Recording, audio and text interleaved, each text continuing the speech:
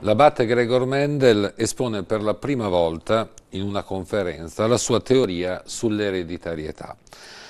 L'anno successivo pubblicherà i risultati e formulerà le leggi sulla trasmissione dei caratteri ereditari che costituiscono il fondamento della genetica.